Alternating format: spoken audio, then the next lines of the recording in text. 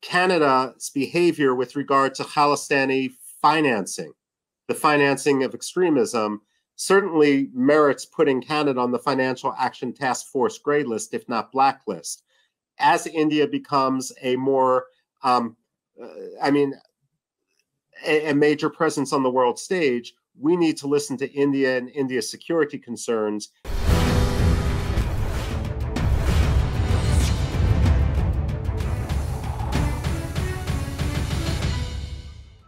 Are there any lessons that uh, Justin Trudeau's government can draw from the way, uh, let's say, the Americas, because Khalistani goons are operating even out of American soil?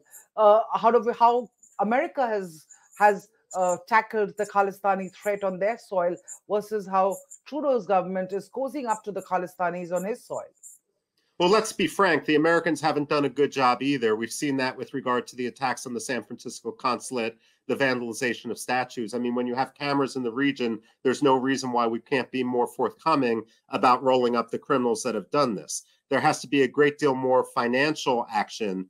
Um, I mean, frankly, and I wrote about this last year, Canada's behavior with regard to Khalistani financing, the financing of extremism, certainly merits putting Canada on the Financial Action Task Force gray list, if not blacklist.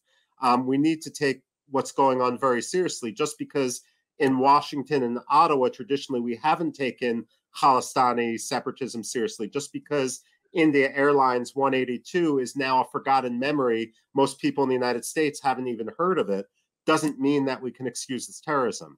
As India becomes a more, um, uh, I mean, a, a major presence on the world stage, we need to listen to India and India's security concerns. We need to listen to the security concerns of any democracy where extremism, where extremists who have no legitimacy inside the country decide to win through a bomb what they can't win at the ballot box.